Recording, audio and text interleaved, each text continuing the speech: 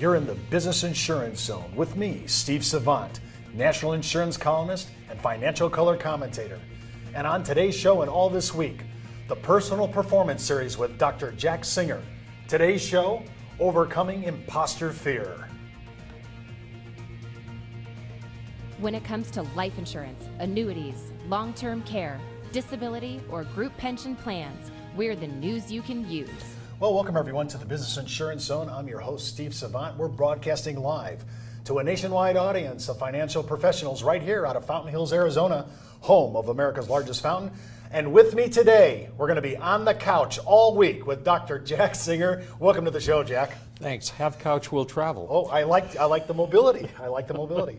well, normally people are going to say, "Wow, Jack Singer's on Steve's show." Usually, I see him on ESPN and all these other sports because you're a sports psychologist. And I've noticed that you started creeping a little bit into our business. You've been speaking at some of the conventions. You're doing kind of work inside the financial services. Yes. Uh, welcome to our world. Well, thanks so much. Yeah, it, it, was really an interesting progression. You know, I've been working with athletes who play for professional teams all over the country. You know, Green Bay Packers, the mm-hmm. Miami Dolphins, the Padres. You know, every sport you can imagine. And I started thinking about the kinds of tools that I teach athletes on how to keep their performance consistently optimal. And I realized that there are other professions that could use exactly the same skills. And then someone told me that one group that could use it are financial advisors and planners. Because of the problems in the economy and things like that, a lot of people have started to lose their edge. So I started a series to keep people from doing that and teaching them how to develop and maintain the mindset of a champion. Well, you're really suggesting then the tools that you use in professional athletes, right? With professional athletes are transferable to our industry. Absolutely. Well, uh, for example, when I think about uh, looking at maybe what, what would what would be a tool when I think about this title, especially our title today, it's kind of an ominous title, right? Overcoming imposter fear. We all have fear. We have call reluctance. Uh, I don't. I, I, I made, made a mistake with my client. I don't know if I, I don't want to be proactive about calling. There's a lot of different uh, phobias in our daily practice that we deal with. Talk a little bit about what do you mean by imposter fear? Well, you touched on it a bit because some people who have an imposter fear, Steve, really have a telephobia. They're afraid to make a call uh, especially a cold call, or they're afraid to call a client because they're anticipating they're going to hear something negative, uh-huh. or the client's going to blame them for a loss of value of their portfolio, uh-huh. things of that nature. But when we talk about the imposter fear, you can really look at any profession. And you'll find that many people within that profession at one time or another had this fear of thinking that maybe they're not everything they're portraying themselves to be, that they're not as confident as they could be, that they are afraid that they're going to make a mistake, that they think they have to be perfect, that they think they have to have all of the answers, uh, that perhaps the reason they're successful up to now is because of luck. So they try to blame it on luck instead of taking credit for it. And so it begins to erode at their self esteem and at their confidence. And that's one of the first things I work on with athletes as well as uh, financial advisors. I, have a, I have a curious question then. Yeah. I have many of our producers have been in the business 20 plus or greater years. So they're all, we have a lot of baby boomers involved. Is our personality in concrete? And how, if I'm already walking in this fear, is it such in concrete that it cannot be busted up? That's a great question, and nothing is in concrete. Uh, even if you've genetically inherited a predisposition to a certain personality or certain behaviors, you can learn how to modify those behaviors. That's the wonder of the subconscious mind, which is a whole other topic. But we can learn to modify behaviors and that's what i do is teach people to recognize when they have the issue and then what can they do to modify that behavior? Well i think about professional athletes i think hey you're playing in the majors what more do you need? But they they really struggle with the same basic you know phobias fears apprehensions as we do. Sure what what kind of calls do i get from professional athletes? Uh, i'm not starting. Uh, maybe they don't have confidence in me anymore. Maybe i'm not as good as i thought i was uh, so it gets to that point. Or I'm starting, but I made a bad play. How can I do that? I need to be perfect. And this is the kind of imposter scenario that transfers itself to everybody in whatever their profession is. Mm-hmm. When, when you think about dealing with a person like that, and I mean, I cannot understand the stress that could be involved in this or the pressure to be playing at that level, the top level. So I just we just saw the All Star game.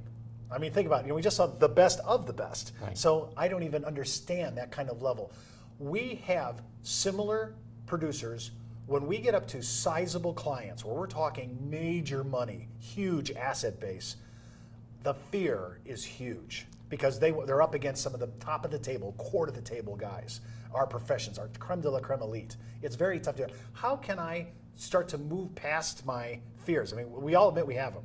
And by the way, where we're now, at least we're there at that part, we're admitting it. We right. have it. Right. You know, it's interesting. It's like somebody who is a professional speaker, which I do. Uh, they say that they're more comfortable speaking to 50 people than 1,000. Why would that be? It's the exact same skill, mm-hmm. right?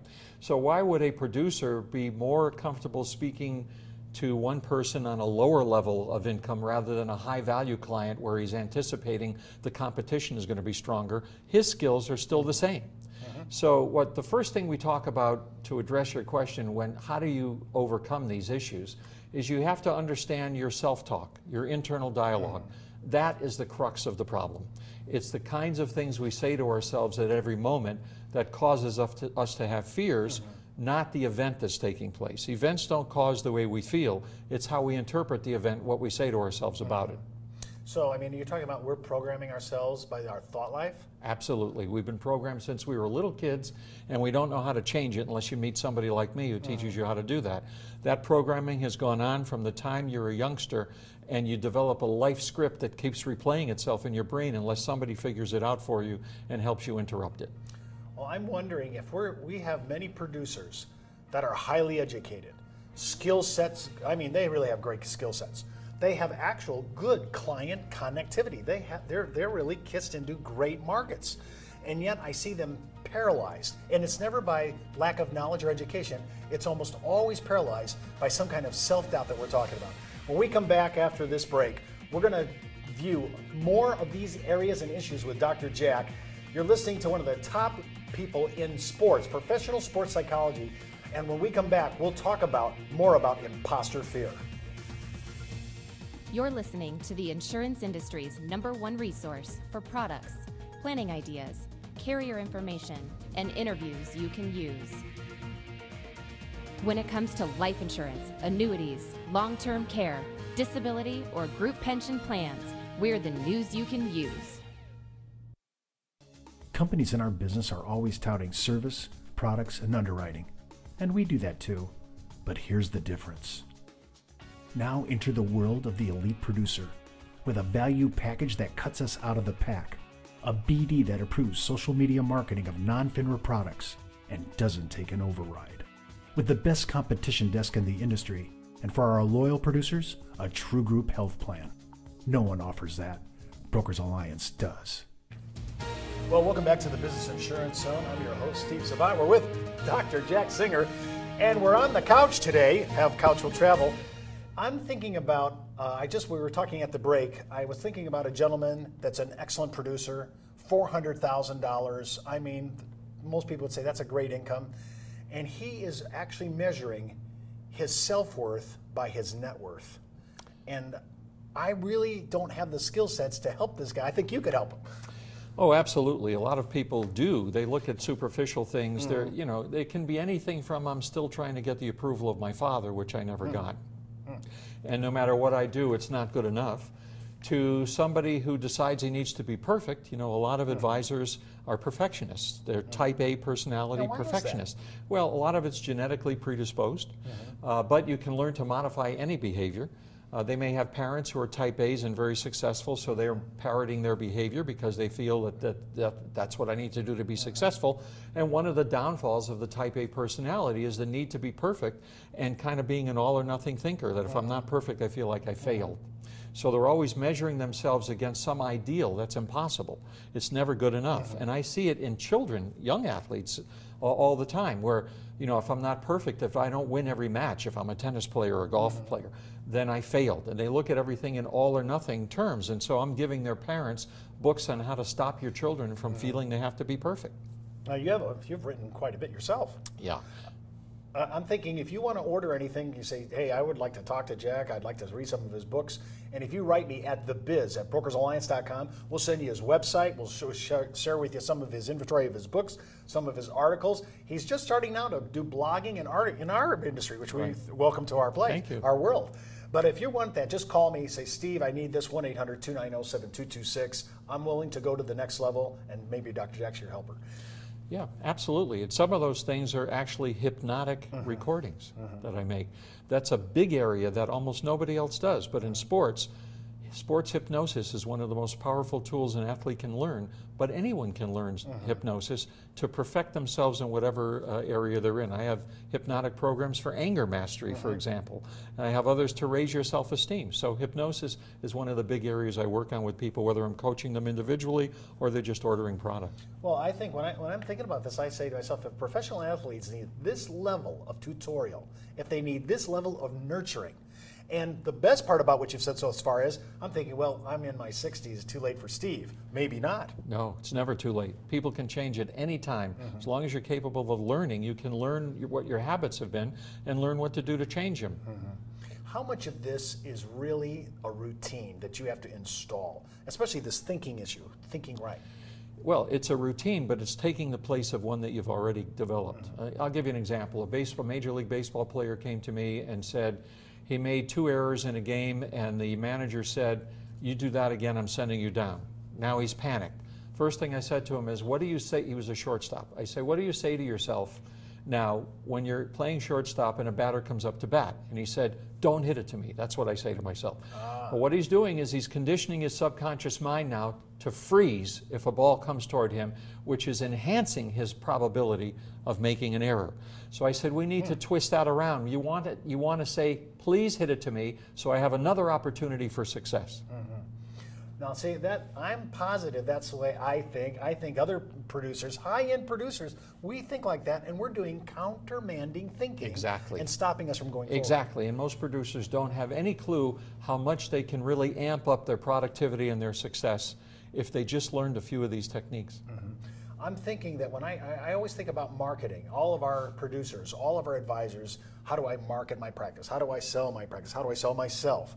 And we don't incorporate any of what you're talking about into our overall marketing plan for how we're going to do business with people. That's right. And that's why I saw a niche when I got into this. It was actually a, a, big producing group in Australia who heard of me through some of the articles that I wrote and got me involved in this. But that's also why I help producers, advisors, to market themselves. For example, if you don't mind a bit of a commercial, I'd like to explain one of those ahead. things. Um, you know, client appreciation events are big things, but what happens most of the time is you spend that time trying to sell more products to your clients or introduce them to new products or things like that, or bring in someone who's going to talk about the market or something of that nature or the economy. What I do is I, they hire me to go to the client events with a program called How to Live Much Longer Than Your Kids Hoped You Would. and it's really a program on life extension using psychological techniques. Now, do you think that that's going to interest your clients and every guest they bring along with them? And do mm-hmm. you think that those guests are going to say, I'm, I can't believe it. Your advisor actually brought in this nationally renowned psychologist to teach you how to live longer. That's the kind of advisor I need to be working with. Mm-hmm. He's not here trying to sell you something, he cares about you genuinely, mm-hmm. and that's the kind of thing he brings. So that's what evolved into all of my speaking services for producers, for producer organizations, for high producing events, and things mm-hmm. of that nature. Well, when I think about that, that's a huge issue. I mean, I love your your ability to walk into a place and do something completely unique, which by the way, most client events are not unique.